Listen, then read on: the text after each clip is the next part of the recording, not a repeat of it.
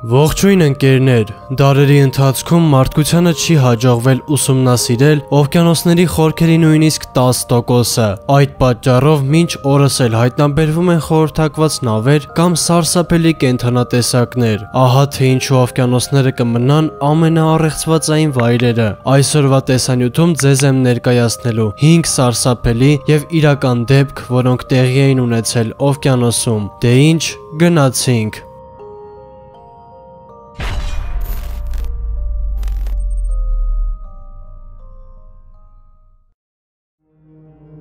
Ծովին նվիրվածները 1924 թվականի դեկտեմբեր ամսին Նյու Յորքից շարժվել էր հսկայական նավ։ Ճանապարհի կեսին տեղի ունեցավ անսպասելի իրադարձություն։ Նավի ներսում ամբողջովին լցվել էր թունավոր գազ, որի պատճառով զոհվել էին երկու նավաստիներ՝ Ջեյմս Կորտնին եւ Մայքլ Միհանը։ Նրանք թաղված էին եղել հենց այդ ամսին Մեքսիկայի ափերից մեկում։ Հաջորդ օրվանից սկսված սկսեցին տարածվել ուղակի սարսափելի լուրեր։ Այդ լուրերի մասին տեղեկացնում տեսնում էին նոր նավաստիները։ Նրանք ասում էին, որ ամեն 10 րոպեն 1 10 վայրկյանվա ընթացքում տեսնում էին մահացած Ջեմի եւ Մայքլի դեմքերը։ Երբ նրանք հասան Նոր Օրլեան, տնօրինությանը հայտնեցին այս ամենի մասին, որից հետո իրենց հետ վերցրեցին տեսախցիկ եւ սկսեցին ճանապարհը։ Ամբողջ օրվա ընթացքում նրանց հաջողվեց նկարահանել 5 նկար, որոնցից միայն մեկում էր երևում Ջեմի եւ Մայքլի դեմքերը։ Նոր Օրլեան հասնելուց հետո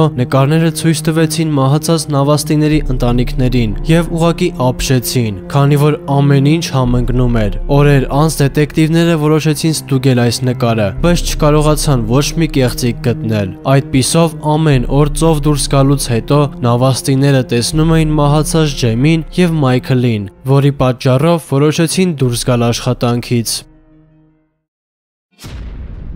Մահացու վախ 1947 թվականի հունիս ամսի կեսերին մոտ մի քանի նավ ստացել էին ձայնային հաղորդագրություն, որում օգնություն էին խնդրում։ Նամակն Արնջագույն Մեդան անվանումով նավի նավաստիներն էին ուղարկել։ Այնտեղ ասվում էր, որ նավաստիները եւ նավի մեջ ուղևորվող բոլոր մարդիկ մահացել են։ Մոտ մի քանի ժամ անց ամերիկական Silver Star նավը արագ տեմպերով ուղևորվեց դեպի Նարնջագույն Մեդանը։ Հերվից ոչ մի տարօրինակ բան չէր երևում նավում, բայց անց 2 ժամ པարզ դարձավ, որ նավը ոչ ոք չի կառավարում։ Silver Star նավակով եկած փրկարարները որոշեցին մուտք գործել սարսափելի նավը, եւ այն ինչ նրանք տեսան, ոչ ոքի չէին ցանկանա։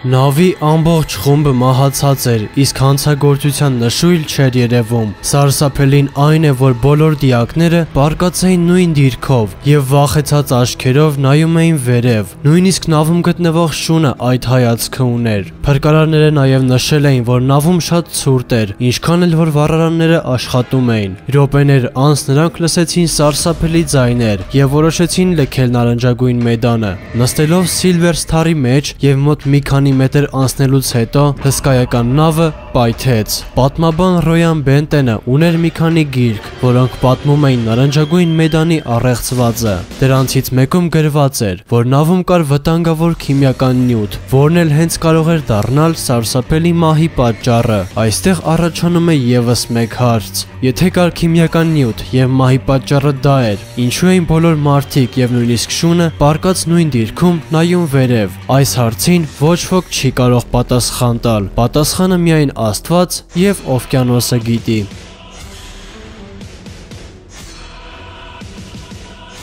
Անիծված Սուզանավը Գերմանական բանակին պատկանող այս Սուզանավը իր մեջ թաքցնում էր շատ ու շատ առեղծվածներ։ Առաջին անգամ այն գործի է անցել 1917 թվականին եւ աշխատել է շատ հաջող։ Երբ դեռ Սուզանավը գտնվում էր պատրաստման փուլում, բոլորը ինչ որ սարսափ էին զգում, ասելով, որ Սուզանավը անիծված է։ Առաջին անգամ օվկիանոսի խորքը անցնելուց հետո Սուզանավը պայթեց, որի պատճառով մահացավ երկրորդ սպան Հաջորդ օրը անձնակազմը եւս մեկ անգամ սուզվեց օվկիանոսի խորքը։ Օրեր անց նրանք հայտնում էին, որ Սուզանավի գլխին տեսնում էին մահացած սպային, եւ ամեն անգամ տեսնելուց հետո անձնակազմից ինչ որ մեկը մահանում էր։ Մեկը իրեն գցում էր ջուրը, մյուսը ընկնում մեքենայի տակ, իսկ որոշներն էլ սովից էին մահանում։ Այս ամենից հետո Սուզանավ այցելեց քահանա, որը էկզորցիզմի ծես կատարեց։ Դա հանգստացրեց անձնակազմին, բայց ապարդյուն Հաջորդ օրը նրանց համար դարձավ վերջինը։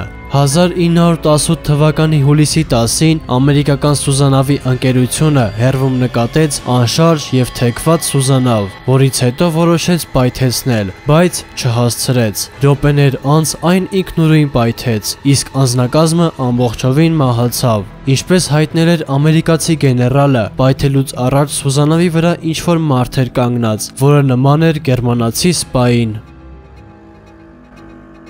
Անբախտ հսկան 1857 թվականին կառուցված Great Eastone-ը համարվում էր այդ տարիների Տիտանիկը։ Այն շատ մեծ էր, բացի դրանից ապահով։ Ապահով լինելու փաստը երկար չտևեց, քանի որ հենց այդ նավն էր, որում տեղի էին ունենում սարսափելի իրադարձություններ։ Խնդիրներ առաջացան հենց առաջին գործարկումից հետո։ Նավը մեծ արագությամբ թեքվում էր աճ։ Աշխատակիցները որոշեցին վերանորոգել նավը, որից հետո ստացան մահացու վնասվածքներ։ Անց ընդամենը ընդամենը 2 ամիս նավը եւս մեկ անգամ որոշեցին բաց թողնել ծովը։ Երբ վերջապես Great Eastone-ը սկսեց նորմալ աշխատել, անձնակազմը ուրախացավ, չմտածելով, որ դա դեռ սկիզբն էր։ Ծովի վրա գնալուց 2 ամիս հետո պայթեցին բոլոր վառարանները, որի պատճառով մահացավ 6 աշխատակից։ Մեկ օր անց մահացավ 2 սպա, որոնք իջել էին ջուրը ստուգելու։ Շաբաթների ընթացքում այդ հսկայական նավի միջից լսվում էին սարսափելի ձայներ։ Ուղևորները Տերերը ասում էին, որ ձայնը հիմնականում նավի խորքից էր գալիս։ Մի քանի ամիս անց նավի միջից դուրս հանեցին մահացած երեխաների եւ մեծահասակների կմախքները։ Այդ պիսով ոչ ոք էլ չկարողացավ բացահայտել Great Eastone-ի առեղծվածը։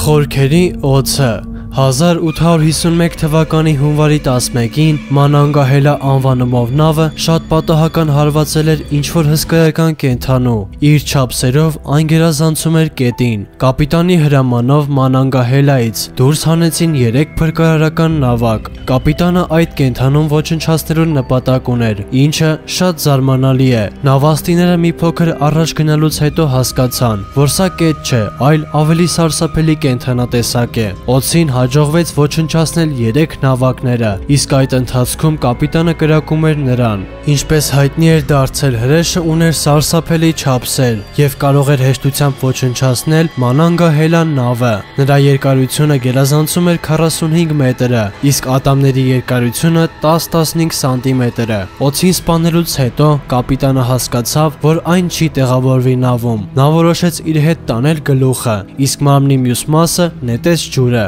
Նաև հայտնի էր դարձել, որ մինչ մանանգահելին հանդիպելը այդ օծը ոչնչացրել էր մի քանի հսկայական նավ ուղևորների հետ միասին։ Ինչպես հասկացաք, օվկիանոսները կամ ծովերը իսկապես չեն բացահայտվել մարդկության կողմից, եւ դա կարող է միայն սարսափի հասցնել։ Օրինակ, ով էր լսել այդ 45 մետր երկարությամբ օծի մասին, կամ Բերմունդյան երանկյունի, որը տարել է եւ շարունակում է տանել հազարավոր կյանքեր։ Դե ինչ, իսկ այսօրվա տեսանյութը այսքանն էր։ Անպայման բաժանորդագրվիր ալիքին ու միացրու զանգակը, քանի որ հետագայում սպասվում են ել ավելի հետաքրքիրները։ Դե ինչ ինչ, իսկ մենք դեռ կհանդիպենք։